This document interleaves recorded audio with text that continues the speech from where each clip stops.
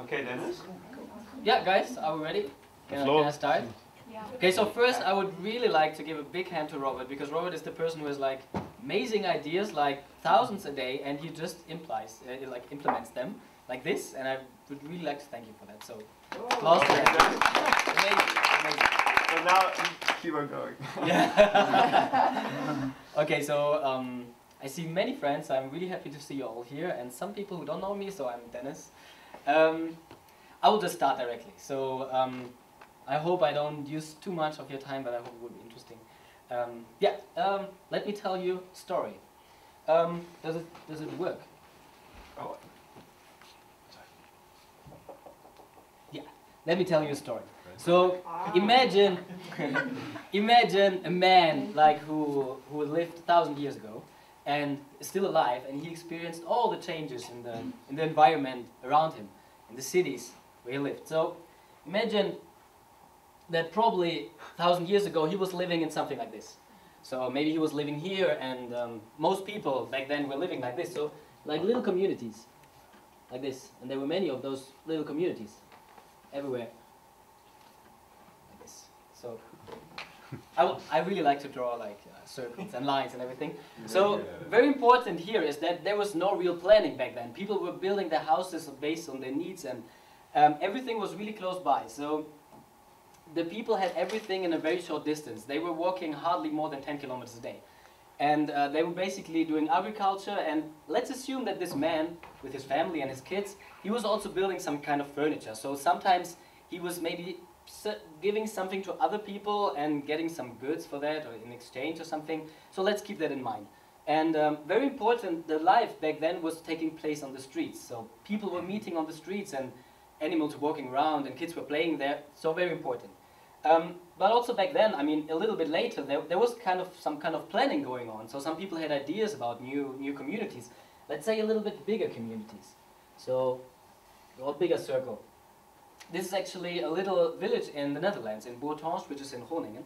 So you can see that it was built to protect the people from enemies and was a little bit bigger, but still everything was really, really on a really short distance within the little community. And um, also there, people were not walking, much. They were not going out of the city much. Um, and let's assume that this guy, this man, he was actually, because there were some more people living, he would actually have a job as being a, a carpenter, building some furniture, selling it to others. And um, his kids were still playing around. They had a school there. Every, every little village had a school. They had, didn't have to walk much. And then his wife, doing the housework, taking care of the kids, she had everything close by, like the butcher and, and um, or, or little shops. Every, like, there were no shops, but something like that, you know? so just sometimes those people had to go to cities. This is the typical medieval city that you can find in Europe and in uh, everywhere in Europe, in France, Germany, Netherlands. So as you can see here, it was also built for the people. It was with a wall to protect them. Everything was really close by. You had uh, the church in the middle, and you had a mix of functions. So working, living, and uh, doing your daily things like shopping and everything was within the city, within walking distance. And um, very important also here, still, the streets were the meeting point. That, that was the place where people were meeting.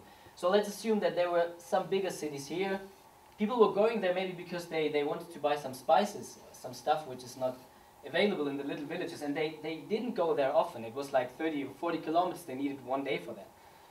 So, um, but those cities still exist, or like little towns in the medieval times.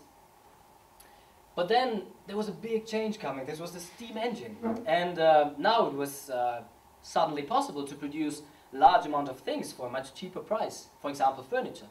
And um, suddenly, what happened was that outside of the cities there were factories built where furniture or other stuff could be produced very cheap.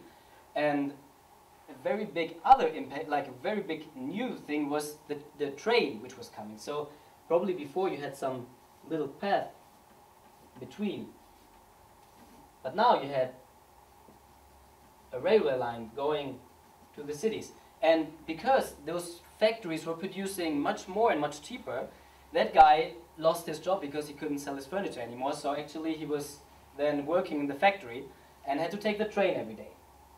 every day back and forth to work in the factory. So it was a long way actually, and suddenly people moved much more. But it became actually really uh, annoying, like moving every day from the village to the city. So people moved to the cities. He took his whole family and moved to the to the city, and uh, cities started growing. They actually exploded. Uh, so you had the first big uh, enlargement of the cities in the 19th century. Um, you can see that in every European city. I will have an example later from Utrecht. And uh, so people were living here. And how did those cities look like? They were sustainable cities. Um, the bicycle was just invented, and also the car. They were kind of the. I think the bicycle was a little bit earlier. Doesn't matter. People were using the bikes, going around in cities. This is a typical picture from the 19th, like 1900. Uh, people were walking. There were a few cars, but people were not using them too much because they were very expensive, and only few people could afford it. And they were actually dangerous. People were afraid of them because they were killing people. So mostly people were using bikes, going around in the streets, and um, it was nice. Life was still on the streets. People were meeting there, and it was still safe. I mean, people could accept those few things which were happening, but still it was just safe. You could you could have your kids around, no problem.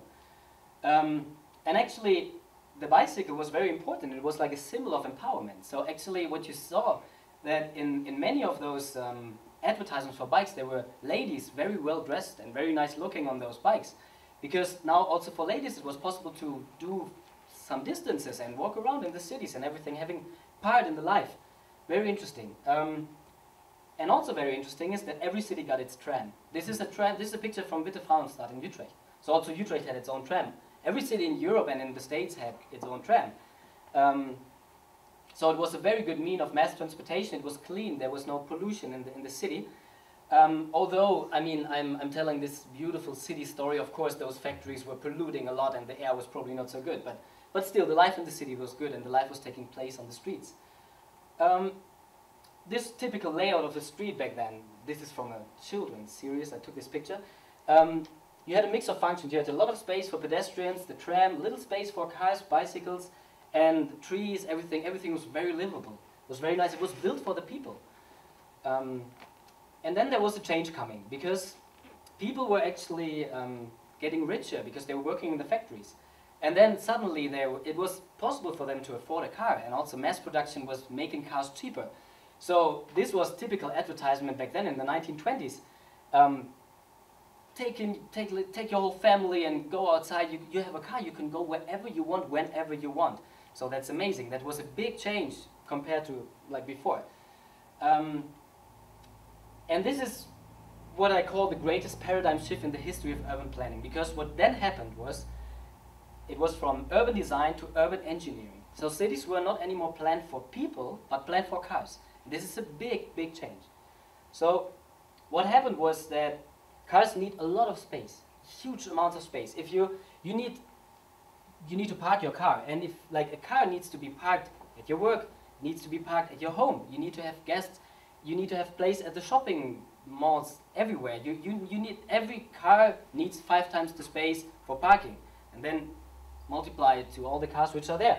It was no space anymore for the trams, so cars were, were moving there. You see, there's less streets, uh, less trees. Um, cities became not not livable anymore. And then what it was backed up by the industry. So the auto industry, people from the states know it, and the, the oil industry, they which is they did what they call the General Motors streetcar the streetcar conspiracy, which was that General Motors actually bought all the the tram networks in the USA uh, from 1930, I think 19 until 1950, took out all the railway lines like from the from the trams and put all the trams away to have more place for the cars so that they can sell more of those products. And actually, the same happened in Europe, every, every, almost every tram network in Utrecht, for example, was removed because uh, we needed space for the cars, and only few cities kept their, their tram networks. We have few cities in Europe which kept them. Um, and this, this was how the cities were looking then because of this change. People, like the planners were not planning anymore for the people, they were planning for the cars. They were planning to give more space to the car. So there was really little space for the people at the sides and no space for bicycles anymore. There was only place for cars. And the big, big change as well is that you can see here there's a big supermarket. Those supermarkets were not existing anymore. On the other picture that I showed, there was a little cinema, there were little shops. And this is a big problem now for the rural areas that we have. I, I will just show you, like, because back then you had shops in every little village, pharmacies, doctors, they were all here. But then suddenly, because everybody could afford a car, um, some people thought maybe maybe I could just build a bigger supermarket here in the next bigger village, and because it's bigger, I can buy large amounts of, of stuff and I can sell it cheaper. So actually, it was not like everybody took the car then to the uh, to the supermarket here because it was cheaper, and then of course the supermarkets and the pharmacies and all the stuff from the little villages disappeared. So now we have the big problem, and also in terms of um, demographic change, that in the rural areas we have in the villages almost nothing anymore. And the reason for that is that people own a car. They can go wherever they want, whenever they want. This is a big problem now. And people are thinking now to find solutions for that. Still very difficult. But let me come back to that times in the 60s, 70s. So this is a very impressive picture from the United States, but it's a typical picture. And you would think maybe now this doesn't apply for the Netherlands. It does. I will show you later. Um, so what happened was actually because people were living in those cities which were not really livable anymore, they wanted to live outside. Streets were not, not safe anymore, they were dangerous. That was the time when playgrounds were invented. So playgrounds is, is, a, is, a, is a thing from base from to react on the cars because you have a fence around it. Kids can play there because they can't play anymore on the streets. You can actually not have a cat anymore and let it, let it go around because you're afraid that it gets hit by a car. So people were moving outside of the cities and the division of functions happened. So people were only living outside anymore, uh, only living outside and working in the cities or maybe outside of the cities. So what happened was that the cities grew incredibly. And actually they, they moved together almost. Um, and of course those places have to be connected and also then industrial areas they have maybe here. So everything was disconnected and you had big malls outside, maybe one mall here and all the other houses here. So there was no mix anymore of the functions. So everybody had to go large distances to the, to the, to the places where they need to go anymore. And you can only do that with a car.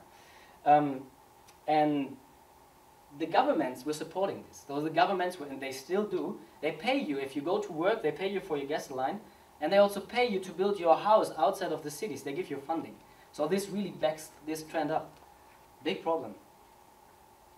So this was actually also the advertisement that is still used by the auto industry. If you want to have a car, if you, if you have a car, you're free. You can go wherever you want, whenever you want. But actually this is not true. If you have a car, you're dependent on the car. You need it. If, if you don't have it, you can't live there anymore where you live actually. Um, and this is what we get out of that. This is a picture from LA, like the car is city. And um, what you can see is that there was huge infrastructure built, like because everything here had, to be connected. People were living here and had to go work here, so big highway here and big highway here, of course. And then the industrial area also had to be connected with big highways everywhere. Um, and this is a big problem right now because we have rising public debt in the, in the cities. But we have to maintain all this infrastructure. And you can see it in the States and even in Europe that we can't do it anymore. But we are still building more and more to facilitate this. Well, this is a big problem. And you would still think, again, this is, this is LA, this is not Europe. In Europe, it's, it's the same, but on a, smaller on, on a smaller scale. And if you look at China or, or Brazil or other countries, this is what happens. So this is what they're building still. Um, and this was the, the mindset back then in the 70s. So Salvador Dali said, any man of 40 who still rides the metro is a loser. Or Margaret Thatcher, a man who beyond the, beyond the age of 26 finds himself on the bus can count himself as a failure. That was really the mindset, and it still is for 90% of the people, I'm 100% sure. so, just to show you now, like a short clip, um, I don't know if I can start it with this. This is this this shows you what happened actually. This is LA. This shows the urban sprawl how it happened. So LA was really really little, and then the first car boom came in the 20s. It grew significantly. Then there was not so much going on. The war was growing. Of course, more people were moving into the city. But then you have to look what, what, what happens in the, in the 60s and 70s and in the 80s. So this is the car boom. Everybody had, everybody could move wherever they want. So this is a big impact. We use a lot of space. Big problem. And we need a lot of energy to go everywhere where we want. So, where are we now? Where are we today, actually? Today, we have built a system which kills 1. point million, 1.2 million people a year just because of cars. And this was this is a bicycle. you. Um, what is this? This is 12 fully loaded jumbo jets crashing every day with no, with no survivors, and nobody talks about it. This is 90 people hit by a car per minute, 90 beats per minute. So streets are dangerous. We don't want any more our kids and our animals to be on the streets because now they're dangerous. This is also very interesting. The Amer average American household spends $16,700 a year keeping the 1.9 NAS running that it owns on average, not counting in parking and tickets, more than it spends on food and healthcare combined. And also, Germans spend on average 300,000 euros a year uh, uh, in, in their life on cars. The German railway network shrank from 58,000 kilometers in 1912 to 33,000 in 2012. So actually in 1912 you had a train station in every little village. It was possible to go everywhere by train, no problem. Oh, sorry. Um, still the trend is going on. In the EU, from 2001 to 2011, the EU railway network shrank by 2%, whereas the highway network grew by 27%. So we are still facilitating, facilitating. Very interesting. A car stands 23 hours a day without being used, and only 1.2 people sit in a car on average. So it's a very inefficient way of getting around. It's a waste of energy. It's a waste of resources. Um, that what happened. In the last 50 years, we changed our environment in order to facilitate individual motorized transport. And this is now a big problem because the predictions for cheap energy, they are not really good, right? So we became car dependent. I mean, how many people you know living in the rural areas and said, I, I live here, but I can't live here without a car. I can't. I can't go anywhere anymore. And this is not because public transport is bad. This is because they have a car, of course. So people saying now the electric car is the, the solution to that. But tell me, which problems that I just told you will the electric car solve? No problem. Not at all. The only problem that the electric car can solve is that you have a better air quality in cities. Nothing else. So let's have a look at the Dutchies, the Netherlands. How many people do we have here from the Netherlands? Okay, only a few people, but I try to, to, to focus also a little bit on the Netherlands. So why it's different here? Why it's different? Why, why are so many people cycling here? This is because your parents, they were demonstrating in the 70s that they get their space back for their bikes.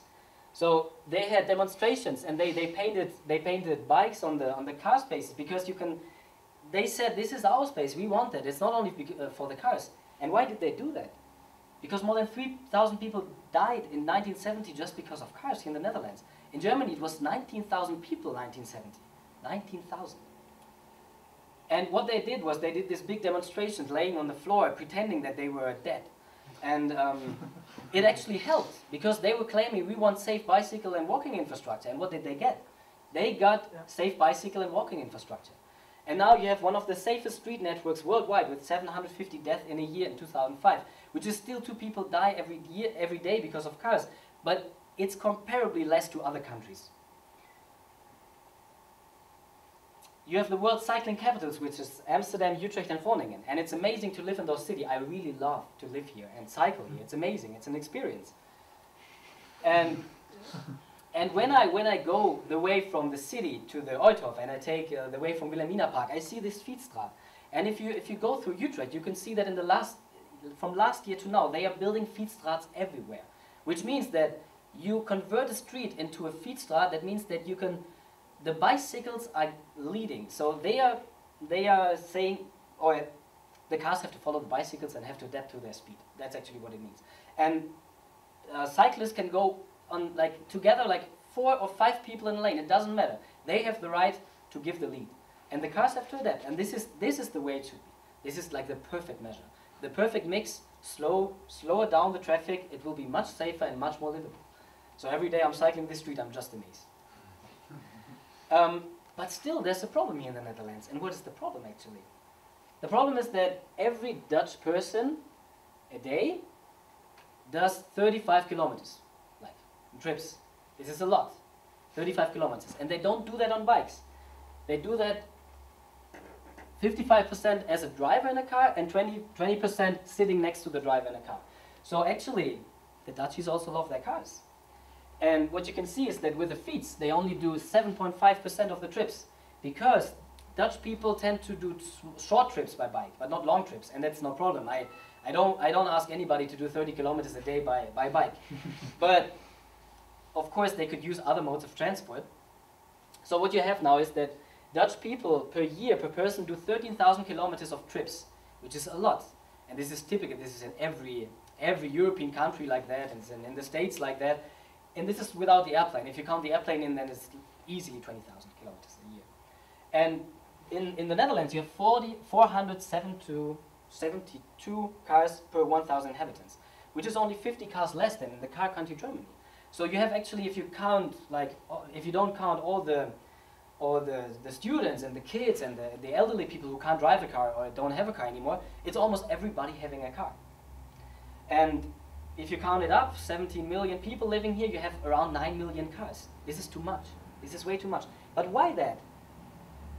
The thing is that the government goes a completely different other way than the cities. The cities really want to get rid of the car and want to make the cities more livable.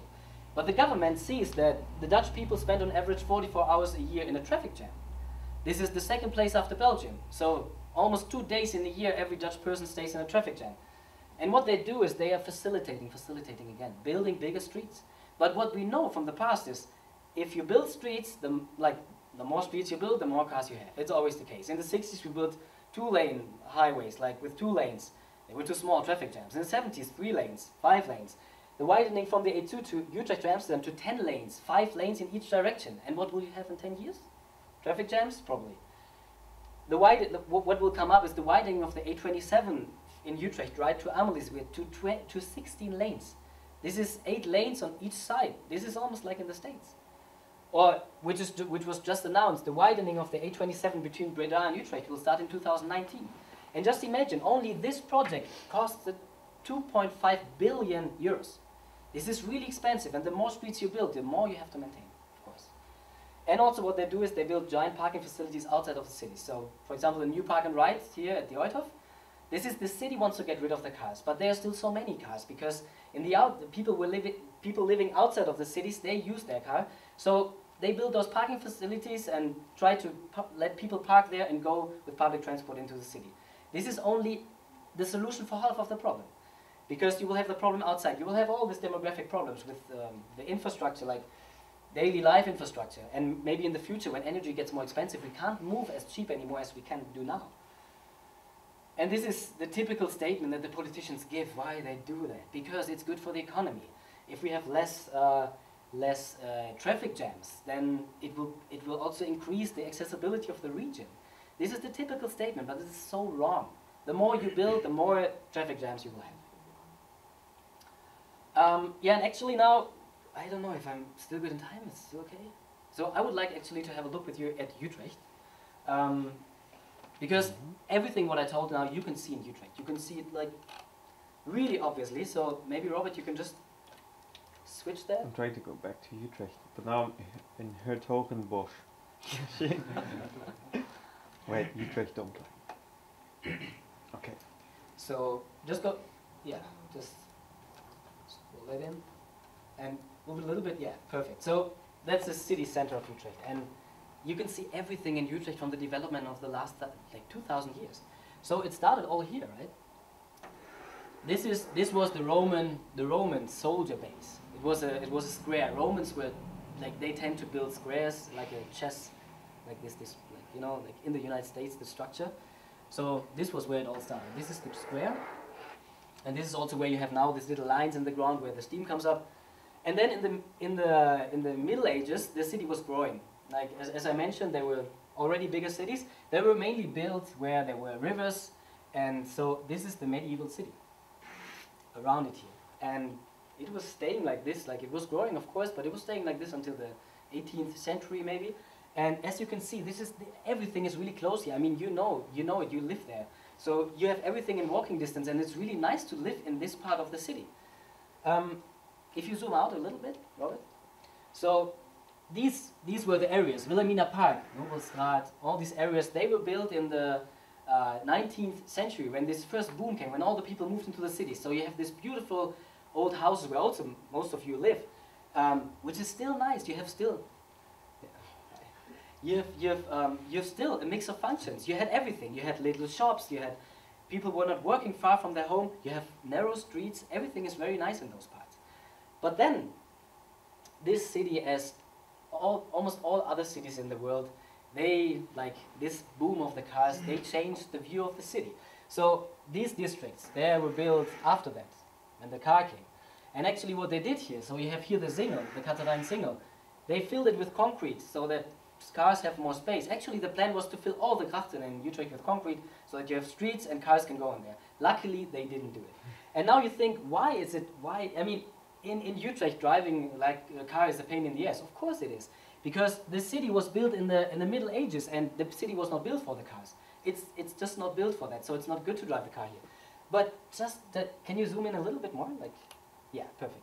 And now go a little bit like this, like in this direction, yeah, perfect. You see this, do you see which space here is used for cars? Everything here. Everything what you see here is cars. Everywhere, everywhere here. Everything here, Kanaleneiland, Overvecht. This is all, all like 60s, 70s. This all was only built for the cars. It was not built for the people. This is, this is not livable. I mean, you can, you can live there in your flat, but you don't go outside. It's not nice. You go maybe into the city center. It's, mu it's much nicer. And um, if you go now over the, over the river and you go to Leidsche Rijn, which is the new, yeah, a little bit, little bit up. Mm, perfect, yeah, a little bit up. So Leidsche Rijn is built here, a new district for more than 100,000 people. And now you could think, what, what can people actually do now to, to make it better? I mean, they could, but they don't, like planners. So first what they did is they built a big tunnel for the, for the A2, the 10 lanes highway, for 1 billion euro. A tunnel only to prevent people living there from the noise. Nobody wants to live close to that highway, so they built a big tunnel. 1.6 kilometers for 1 billion euros. And then if you go a little bit like this, so what you can see here, this is not much different to the picture that I showed you from, from earlier. This is just living, this is just houses, space for the cars in front of every house, every, everywhere here. There's no mix, there, there's just people living in their flats, but nobody, there's no life on the streets. I mean, it's also not dangerous on the streets there because, I mean, nothing happening there. But it's also not nice to live there. So actually what would be nice to see if the city would supporting also people moving into the new houses and maybe don't have space anymore for their car because they don't use it then, of course. Um, and maybe you could go back to the presentation. So this is urban sprawl, Dutch. Uh, This is Dutch urban sprawl, yeah. And actually what you can see in the Randstad, this is very interesting. I mean, the Randstad actually grew together as one metropolitan area. If you go from Utrecht to Amsterdam, you have like, it's, it's, it's almost one residential area in between. You have hardly any space in between. It all grew together. And now you have long ways. So, okay. So what, what, what can we do? What should planners do? Um, the main thing is they, they should go from urban planning to urban design because if you do design something, you design it for the customer. Everything which you have is designed for you. You buy it because it's useful and it's, it's designed for you. Cities were not designed anymore for us. You can see it here. This is a typical thing. You have, you have a bridge over a street and here cars can go 70 kilometers an hour. And pedestrians and cyclists, in order to cross the street, they had to go all the way up here, up the bridge and go down again. This is so annoying. Nobody does that. Of course nobody does that. You can see it here. This is a desire line. This is where people want to go. They want to cross really short. And of course it's dangerous because cars are really, really fast. But just build this and maintain this. This is really expensive. It's stupid. So this is the main thing. Everywhere in the city, everywhere where people live, 30k. Nothing more. Because then immediately you would have people feeling much more safe cyclists on the streets. It's no problem anymore to build expensive new infrastructure because nobody wants to do it anymore. There's no money for that. So 30k everywhere where people live. This is a picture from, uh, from a street in Copenhagen in the, in, the, in the 70s. Typical picture in the city center, only cars. This is what they made out of that. I took this picture and I mean, you know that the people from Europe, we have pedestrian areas everywhere, but they're enlarging the pedestrian zones. They, they widen it to a whole network. This is nice. This is the livable space. And this is also important. Planners should consider this. If you have a 3 meter, 3.5 meter width of a street, like a normal street, then you could process uh, in an hour 2,300 cars through it. So around 3,000 people if you keep the average um, occupancy in a car in mind. Uh, 10,000 people by bus, 13,000 by bike, 17,000 by, by, by walking, And with a tram, 25,000 people an hour. So this is the most efficient means of transport in a city, of course. And on larger distances, it's the train. And if you have short distances, it's the bicycle. So people should actually, the planners should look, what do the people want? What do they need? What's this? This is, a, this is from a traffic light. And this here is again a desire line. This is, maybe you can't see it now, but you can see it there. This is where people hold their hands, mm. always, because they have a bike and they don't want to step down. So why not building a footrest where people can put their feet and hold their hand? Or why not building a bin which is directed to the cyclist so that they can throw their waste in it while they're riding the bike? Or why not taking car lanes off? This was the four-lane street before, and then two lanes were removed, and the others, the other street parts were just short, like narrowed. So those cars have to be really slow, and people use the space. This is a livable space anymore, and it's safe because cars are going really, really slow. So that's actually where I want to end my talk, and this is, I want to end my talk with this poster that the company where I did my internship did. Typical poster from Copenhagenize. This is the planning guide for livable cities, as you can see. Make cycling, bus, intermodality the fastest way, and cars, yeah, you know. Yeah. Thanks.